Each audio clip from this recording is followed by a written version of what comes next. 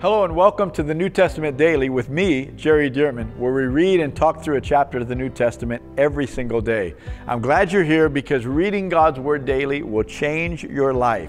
You can also help others find out about this resource and stay in the Word daily when you click like on this video, subscribe to my YouTube channel, or share this link with others.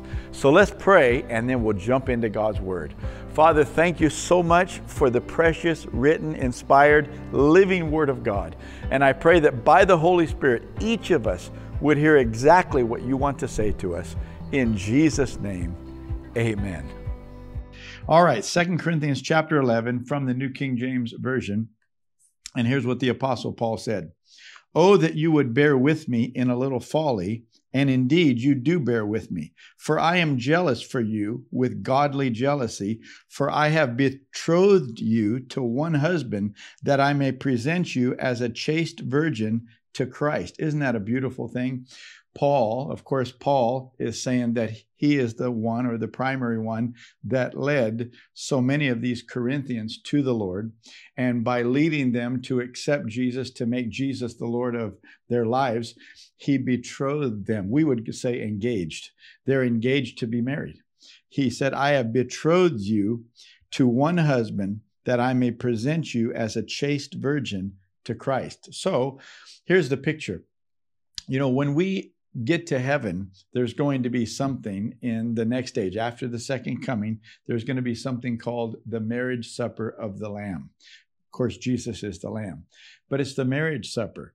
And this is when the bride of Christ, the body of Christ, the believers in Jesus here on the earth and who have already passed on, they'll be actually officially married and become one with the Lord. Somebody said, Well, I thought we're already one. Well, we are spiritually but our bodies, see, haven't been saved. They haven't been uh, transformed, as 1 Corinthians 15 told us, into immortal bodies, into incorruptible bodies.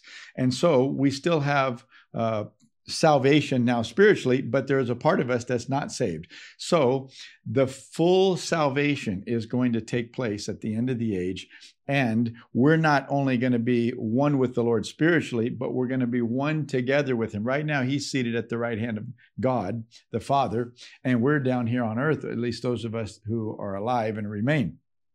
And yet, uh, we're all going to be together at this marriage supper. It's going to be a glorious thing. I, I love in Revelation 19 where this person uh, who is leading John through this vision, he says, Write this down. Blessed are those who have been invited to the marriage supper of the Lamb. You're so blessed if you've been invited to be married to this precious Son of God who loves us so much, and you miss hell in the process, by the way. He said, You're so blessed. Well, Paul said, Listen, I betrothed all of you, he's saying, to one husband, to Jesus, to Jesus Christ. And he said, That I may present you as a chaste virgin to Christ. Notice, I've already betrothed you. You accepted Jesus' proposal. The gospel was the proposal. You're making him Lord was the acceptance of that in, uh, proposal for marriage. But Paul said, but the presentation at the marriage supper of the Lamb as a chaste virgin is yet to come. And so Paul said, I'm working on you. I'm teaching you the word of God. I'm teaching you to prepare yourself, to prepare your life, that you may be ready, that you may be like a bride on her wedding day. I mean, everything is pristine, perfect, thought through. Uh, she's got her hair done. She's got her nails done. She's got her dress just right. Everything is just the way that she had planned for it to be. Paul said, We've been saved, we've been born again in the Spirit, but our lives are not up to the place where we're ready to marry the Lord. But he said, This is what I'm doing. I'm teaching you the Word of God. I'm teaching you to walk in obedience. And those righteous acts, the Bible says, are the, the clothing that we'll be clothed with when we come and are presented to the Lord. So somebody said, Well, I, am not a chaste virgin. I've had a, a very horrible, sinful past. Well, yeah, but thank God, God cleans you up. He forgives you, washes you by the blood of Jesus. And then with the word of God, the washing of the water of the word, He washes up your life. He cleans up the way that you live See, so you're, you're washed from your sins by the blood of Jesus, but you're washed from the way that you live that is uh, not in alignment with God, not obedient to the Lord, not pleasing to the Lord. You're washed from those things by the word of God. And so Paul said, I've already betrothed you. You're already engaged because you've received the gospel and accepted the proposal of Christ. But now I'm preparing you for the wedding day when I present you because of your righteousness, because you're walking in obedience. I'm presenting you as a chaste virgin to Christ. What a beautiful picture. And notice that Paul believes that he will not just be a spectator when all this is happening, but that because of his role in leading them to the Lord and, and discipling them, that he'll be able to present them. We would think, well, that's just Paul's opinion if it wasn't in scripture and inspired by the Holy Spirit. So there's going to be more participation for we who are leading others, and that wouldn't just be pastors and apostles. This would be anyone who leads and disciples other people. There's going to be more participation here than we think when we come to the Lord and when we're united together with Him at the end of the age. And so notice here now, it says in verse 3 But I fear lest somehow, as the serpent deceived Eve by his craftiness, so your minds may be corrupted from the simplicity that is in Christ. For if he who comes preaches another Jesus whom we have not preached, or if you receive a different spirit which you have not received, or a different gospel which you have not accepted, you may well put up with it. So Paul's saying, I'm concerned. He said, I fear. He said, I'm concerned that just as Eve was deceived, back in the Garden of Eden, he said, I'm concerned that other people would come and they would preach something similar, but it wouldn't quite be the same Jesus that we preach. They would preach a gospel, but it would have things in it that are not part of the original true gospel that Paul preached. And so he said, I'm concerned that you won't catch those heresies, those flaws, and that you'll actually accept them and put up with them. Verse 5 For I consider that I am not at all inferior to the most eminent apostle. Now you're going to see not pride, but you're going to see confidence from Paul and him saying, Look, there are other apostles that may have even walked with Jesus, been part of the 12. He said, But I don't count myself at all inferior to the most eminent, the most esteemed. Of course, that would be Peter and James, the brother of the Lord, and of course, John. And uh, those apostles, those kinds of apostles that are very highly known and respected for their proximity to Jesus or their leadership in the church, etc. And so he says, I consider that I am not at all inferior to the most eminent apostles, even though I am untrained in speech. He said, I haven't been trained in oration, in speech, in giving speeches. He said, I haven't been trained in speech, yet I am not untrained in knowledge. Though I am untrained in speech, yet I am not in knowledge. He goes on to say, But we have been thoroughly manifested among you in all things. Now, of course, you know, Paul was a Pharisee, and he even said he was a Pharisee of Pharisees. In other words, very studious. So he knew the Bible. Of course, at that point, the Bible was what we consider today the Old Testament, but that was the only Bible that they had and all these new testament apostles and preachers when the bible says they preach the word they preach the old testament. So don't think that in the new testament we can't preach the old testament. Somebody said well that's the old. We should be preaching the new testament. Well certainly we should be focusing primarily on the new testament but the the the New Testament is built on the Old Testament, and the Old Testament is the only Bible they had back when Jesus was here, when the apostles were here, when the book of Acts was written. They only had one Bible. That's what we call the Old Testament. And so Paul said, Listen, I don't consider myself inferior to any of the other apostles, no matter how esteemed they are.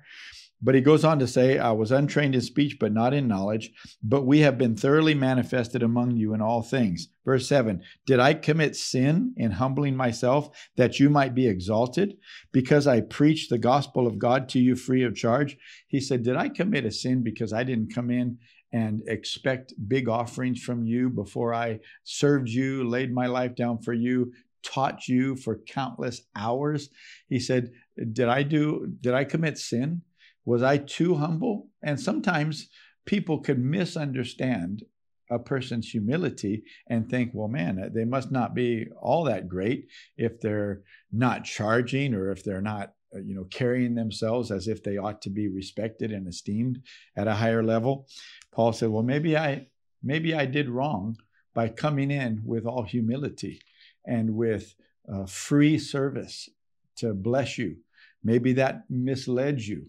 And so he says, Verse 8 I robbed other churches, taking wages from them to minister to you. Now, of course, he doesn't mean that he, you know, at gunpoint or sword point, that he robbed people, but he's saying in this regard, if he received offerings from other churches and used those offerings to provide for his needs to travel to get to this city, particularly Corinth, and to preach to them, he's saying, Is this the way that it works? That are you thinking that I robbed other people because I took money from them and came to preach to you free of charge? And he goes on and says, and when I was present with you and in need, I was a burden to no one. For what I lacked, the brethren who came from Macedonia supplied. And in everything, I kept myself from being burdensome to you. And so I will keep myself. As the truth of Christ is in me, no one shall stop me from this boasting in the regions of Achaia. Why? Because I do not love you? God knows. But what I do, I will also continue to do, that I may cut off the opportunity from those who desire an opportunity to be regarded just as we are in all things of which they boast. I'll come back to this. For such are false apostles, deceitful workers, transforming themselves into apostles of Christ. And no wonder, for Satan himself transforms himself into an angel of light. Therefore, it is no great thing if his ministers, and he's calling these false apostles, these, these people who come and say they're apostles of God and are preaching the Bible and such, but he's calling them false apostles, and now he calls them Satan's ministers. He says, therefore, uh, it is uh, of no great thing, it is no great thing if his ministers, Satan's ministers, also transform themselves into ministers of righteousness, whose end will be according to their works. I say again, let no one think me a fool. If otherwise, at least receive me as a fool, that I also may boast a little. What I speak, I speak not according to the Lord, but as it were foolishly, foolishly in this confidence of boasting, seeing that many boast according to the flesh. I also will boast. For you put up with fools gladly, since you yourselves are wise. For you put up with it if one brings you into bondage, if one devours you, if one takes from you, if one exalts himself, if one strikes you on the face. To our shame, I say that we were too weak for that. But in whatever anyone is bold, I speak foolishly, I am bold also. Are they Hebrews? So am I. Are they Israelites? So am I. Are they of the seed of Abraham? So am I. Are they ministers of Christ? I speak as a fool. Or when he says I speak as a fool, it, we could say in our uh, day and age, yeah, right. Are they ministers of Christ? Yeah, right. Uh, I, I am more in labors more abundant. And then he's going to go into all that he sacrificed. But let me just stop now and put this into perspective. Paul's saying, Look, I came to you with such humility as if I'm a nobody. And I didn't charge you a thing. I just served, I taught, I gave my life. In fact, I didn't even charge you, I didn't even ask you to take care of me, but I made tents with my own hands. I, I was not a burden. And some of the things that I lacked by not making enough money on my tent making business, other brothers came from Macedonia and supplied my need. In other words, he's saying, I didn't come in like a bigwig to make myself known. I came in to love you, to preach to you, to teach you, to help you to understand the truth in the Lord Jesus Christ, and also to be an example of how we should live our lives selflessly to serve other people and to help other people receive the truth. He said, But there are some other apostles that come in and they call themselves apostles, but they really want to be known. They want to be respected, Paul's saying, like we are. See, Paul was very respected. And of course, I mean, he was just a jewel of an apostle. And the signs of an apostle, uh, the working of miracles w- were in his ministry. People were healed and delivered and so on. And the way he carried himself. Everybody could tell by being around him after a while, he's not trying to make a name for himself. He's really, genuinely trying to help people. And the guy knows stuff. I mean, he understands the scriptures like nobody's business.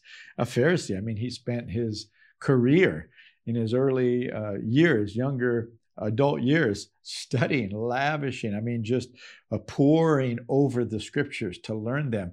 And when his eyes were opened to the Lord Jesus Christ, then he saw Jesus everywhere in the Bible, which we know is the Old Testament. And he said, Now you have apostles coming to you and saying, We're an apostle, and they're trying to get the same stature as I, Paul, and his companions. They're trying to get the same esteem and they're trying to get the same funding they're trying to uh, have people listen to them, follow their lead, and such. And in some cases, some of these apostles were trying to get uh, the Corinthians and others to follow them instead of Paul because they thought, well, he's kind of old school. He's been around a while, but we've got some fresh insight and revelation. He said, look, these people that come in and preach these new gospels, you know, they've got some fresh part of the gospel that is not what I laid down to you. And uh, he said, and people that come in and they're they're preaching Jesus in a way that was not preached to you before. He said, you know, you have to understand that even Satan transforms himself into an angel of light. So we should not be surprised when human beings come in as if they're apostles of Christ, but they're not. They're not really apostles. And so then he begins to defend himself and say, look, look, they, they might say, well, we're of the seed of Abraham. He said, so am I. So he went through this whole list of criteria that they are presenting that makes them apostles. And Paul said, I got all those. Paul said, besides all of those things, being an apostle, being of the seed of Abraham, uh, uh, having the time in the ministry and so on, being a minister, a servant of Christ. And he said, I've got the whole list that they say is the criteria. He said, I meet all those criteria. But then Paul's going to go into something now that is really powerful. He said, Let me tell you what else I have that few, if any of them have. Listen to what he said. He said, verse 23, Are they ministers of Christ? I speak as a fool. Yeah, right. I am more. In labors, more abundant. What does that mean? I work harder than all of them. I work more hours than all of them for this apostleship.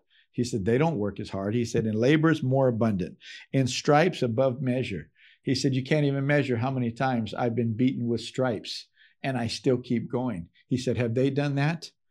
He goes on to say, in prisons more frequently. I've been thrown, arrested, and thrown into prison for preaching the gospel more than any of them have. an interesting list of criteria, wouldn't you say?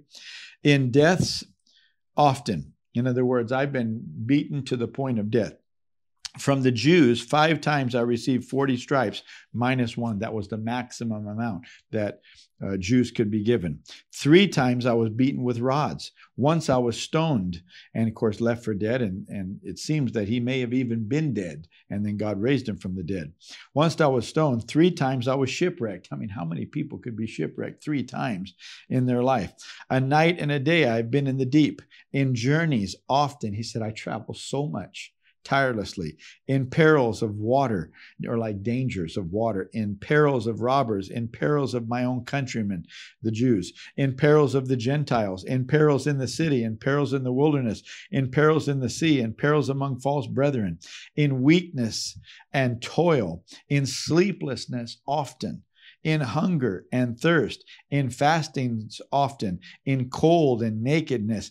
And you can you would think, well, man, Paul, like this makes you an apostle? Paul said, Yes, because no matter what's thrown at me, whether it be from human beings or from Satan and the demonic realm, he said, I don't stop. I keep doing my ministry. He said, Do those other apostles do that? Do they do that? Do they keep uh, going forward and saying, But I've got to get the gospel to another city. I've got to go back to that city and strengthen them and disciple them and such. Paul said, this is what makes you a true minister of the Lord. It's not how esteemed you think you should be, but how much are you willing to suffer? How much pain are you willing to endure to minister to people, to love people, to bless people? See, this is just a precious chapter here, and it shows Paul's heart and it shows the reality of what being a minister of the gospel is all about. So he said in verse 28 Besides the other things, what comes upon me daily, my deep concern for all the churches. That word concern is uh, merimna, it's, it's a word that means worry. He said, Besides all these things that happen to me on the outside, these persecutions, he said, Man, I've got this worry inside of me for the churches because I'm concerned about them. You know, it's not like in our day where you can just call them on the phone or text them or email them or communicate very quickly. No, you, you had to send a courier, so to speak. You had to travel to a place. So you really don't know what's happening. And, and he said, I would have this worry come on me that would tell me that, oh man, they probably fell away from the Lord. They probably got taken advantage of by some person preaching a heresy or some deception, and maybe they're not serving the Lord anymore. And he's concerned about them because he doesn't want them to go to hell. He doesn't want them to be lost. See, and so he said, all those things come, but then this worry over all of you, not just in Corinth, but all the churches everywhere. This worry comes upon me daily, my deep concern for all the churches. Who is weak and I am not weak? You wouldn't think this would be a boast, but Paul is saying, yeah, you're going through problems. Well, what about me? I'm going, I go through more problems and uh, has gone through. I tell you, when I read this list every time, I think, how could one person go through this much? Who is weak and I am not weak? Who is made to stumble and I do not burn with indignation? If I must boast, I will boast in the things which concern my infirmity or my weakness. The God and Father of our Lord Jesus Christ, who is blessed forever, knows that I am not lying. In Damascus, the governor under Aretas, the king, was guarding the city of Damascus with a garrison and uh, or of the Damascenes with a garrison, desiring to arrest me. But I was let down in a basket through a window in the wall and escaped from his hand. So he's still going on and explaining just a little further, and you don't want to miss chapter 12 because in chapter 12 he explains something that's very famous called Paul's thorn in the flesh, and I want you to see it maybe in a different light than you've ever seen it before.